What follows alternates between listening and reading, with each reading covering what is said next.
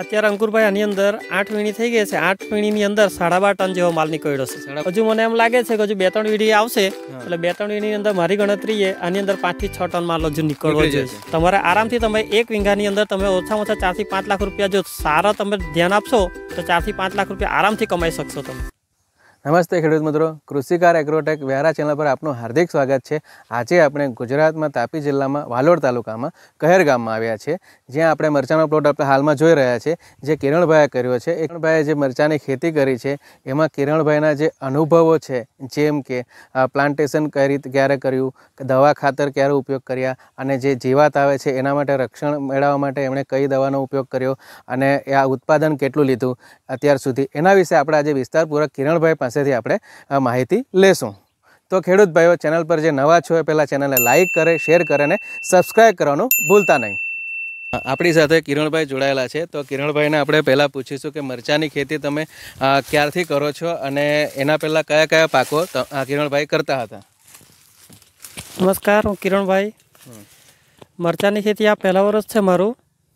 તે પહેલાં અમે શેરડી કરતા હતા પરવડ કરતા હતા. પછી આજુબાજુ ગામમાં બીજા કરતા હતા અને જોયું કે પ્રોફિટ આમાં છે મહેનત તો છે પણ પ્રોફિટ પણ છે.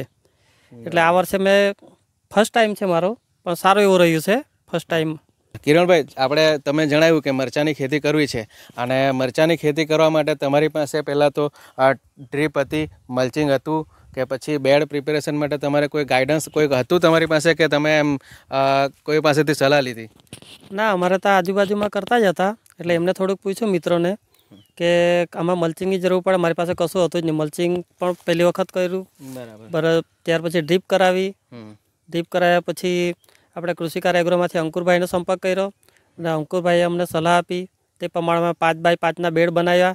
બેડ બનાવ્યા પછી ઉપર સ્પેશિયલ ડોઝમાં ડાય ખાતર આપી. પછી અળસિયાનું ખાતર ઉપર આપ્યું લગભગ સિત્તેર બેગ જેવી દોઢ વીંગાની અંદર. અને એ રીતે પછી ઉપર મલ્ચિંગ પાથરીને અમે જમીન તૈયાર કરી દીધી.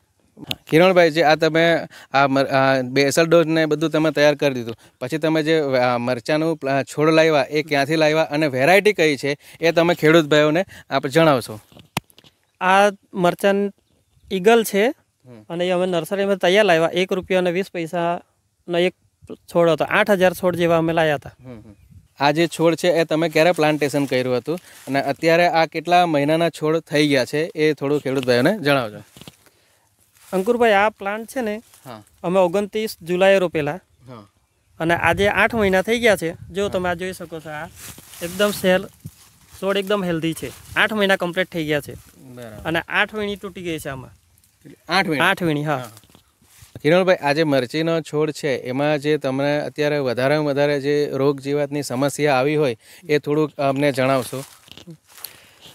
આમાં તો એવું છે કે ચોમાસામાં ચોમાસામાં દાઢી સુકાઈ જવાનો વધારે પ્રોબ્લેમ આવે છે. અને ટ્રીપ્સ શિયાળામાં. શિયાળામાં ટ્રીપ્સ આવે છે. ટ્રીપ્સમાં શું છે કે ફૂલ ઉપર કોઈ હોય પીળી આવે કાળી આવે એવી ટ્રીપ્સ એમની અંદર આવે. એ વધારે એટેક હોય છે શિયાળામાં. એટલે તમે જેમ જણાવ્યું તેમ આ મરચીના છોડમાં વધારે એટેક જોઈએ શિયાળામાં. થ્રિપ્સનો એટેક વધારે આવે છે. અને થ્રિપ્સ આપણે લગભગ કાળી અને પીળી બે પ્રકારની આપણે ત્યાં જોવા મળે છે. અને ચોમાસામાં જ્યારે વધારે વરસાદ પડે છે ત્યારે ડાળી સુખાવાનો પ્રોબ્લેમ વધારે આવે છે. આમાં આપણે જે જ્યારે થ્રીપ્સ આવે છે કાળી ફૂગ આવે છે કે ડાયબેક આવે છે ત્યારે તમે કઈ રીતે આમાં ટ્રીટમેન્ટ કરો છો? એ જરૂર જણાવો ને. એમાં એવું છે કે જ્યારે બી કોઈ આવો એટેક હોય એટલે અમે એમના સીધા ફોટા પાડીને કૃષિકાર એગ્રોમાં મોકલી આપીએ. એટલે ત્યાંથી તરત આવી જાય અને ચેક કરી લે અને તે પ્રમાણે એ લોકો દવા આપી દે અને એનું તરત રિઝલ્ટ મળી જાય છે એમનું. હમણાં જ્યારે પ્લાન્ટેશન કર્યું અને ત્યારથી અત્યાર સુધીમાં આપણે જે ખાતરો વાપર્યા એ તમે કયા કયા ખાતરો વાપર્યા? તેર ચાલીસ તેર સોળ આઠ ચોવીસ ચોવીસ ચોવીસ પોટાશ ત્યાર પછી અન્ય કેલ્શિયમ નાઇટ્રેટ ત્યાર પછી અન્ય માઇક્રોન્યુટ્રન્સ હાથે આપેલા હતા. આપણે તે તમે જણાવ્યું કે તમે આઠ વીણી આમાં લઈ લીધી છે. તો તમે અમને જણાવશો કે આઠ વીણીમાં તમે કેટલા ટન પ્રોડક્શન લઈ લીધું છે અને હજી આ છોડ જોઈને તમને કેવું લાગે છે કે હજી કેટલો ટન માલ નીકળશે એ થોડું ખેડૂત ભાઈઓને જણાવો. અત્યારે અંકુરભાઈ આની અંદર આઠ વીણી થઈ ગઈ છે. આઠ વીણીની અંદર સાડા બાર ટન જેવો માલ નીકળ્યો છે. સાડા બાર ટન માલ નીકળી ગયો છે. અને આ છોડ જોઈને તમને કેવું લાગે છે કે હજી કેટલો માલ નીકળશે? હજુ મને એમ લાગે છે કે હજુ બે ત્રણ વીડી આવશે એટલે બે ત્રણ વીડીની અંદર મારી ગણતરી એ આની અંદર પાંચથી છ ટન માલ હજુ નીકળવો જોઈએ. આરામથી નીકળશે.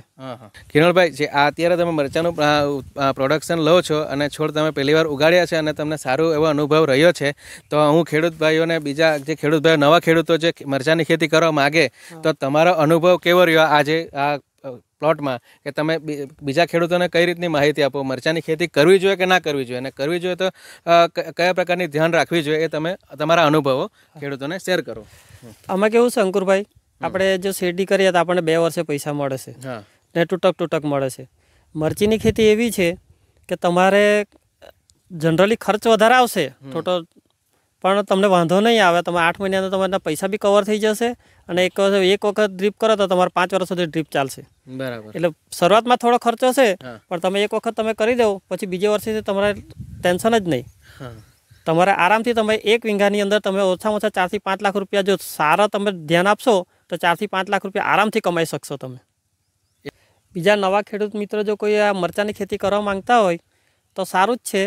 પણ એમણે એટલું ધ્યાન રાખવાનું છે કે કોઈ બી જીવાત કે આ કંઈ બી થયું તો તરત એમના ફોટા પાડીને કોઈ સારા એગ્રોવાળાને ત્યાં બતાવી દેવાનું અને એ તરત એમની ટ્રીટમેન્ટ થઈ જાય તો તમને પ્રોડક્શન પણ સારું મળશે જ. જ્યારે મરચીનો ભાવ એકદમ ડાઉન થઈ જાય છે અને રેટ સારા મળતા નથી એ પરિસ્થિતિમાં કિરણભાઈ તમને કેવું લાગ્યું એમ કે એમાં કેવું છે અંકુરભાઈ કે આ તો આઠ મહિનાનો પાક છે. કદાચ એ બે ત્રણ વાળા કદાચ તમારે બે ત્રણ વીણીમાં તકલીફ થાય કે ભાઈ ભાવ ડાઉન થાય તો ચિંતા કરવાની કોઈ જરૂર નથી. નથી. બે ત્રણ વાળા એવા તમારા આવી જાય કે તેમાં તમને ટોટલી કોસ્ટ અમારી નીકળી જાય. એટલે ચિંતા કરવાની કોઈ જરૂર એવા આવે પણ તો ગભરાવાની જરૂર નથી. એવી બે ત્રણ એને સારા ભાવ મળી જાય તો તમારો ટોટલ કોસ્ટ નીકળી જ જાય. એટલે એમાં તમારે કોઈ ચિંતા કરવાની જરૂર નથી. ખોટ તો જવાની જ નથી. બરાબર. તો ખેડૂત મિત્રો આપણે કિરણભાઈને આજે મળ્યા અને મરચી વિશે એમણે માહિતી આપી. એમાં આપણે એમણે ઘણું ઉત્પાદન લીધું અને સારી રોગ જીવાત માટે એમણે સારું દવાનો સ્પ્રે કરીને સારા છોડ બનાવ્યા છે. એ જે માહિતી આપી એ બદલ આપણે કિરણભાઈનો આભાર વ્યક્ત કરીશું. આ મરચાંની ખેતી કરવામાં મને કૃષિ એગ્રો તરફથી સારા એવો સાથ સહકાર મળ્યો છે અને ટાઈમે ટાઈમે એમને દવા અને આદિ પૂરું પાડ્યું છે એ બદલ એને લીધે મને સારું એવું પ્રોડક્શન પણ મળ્યું છે.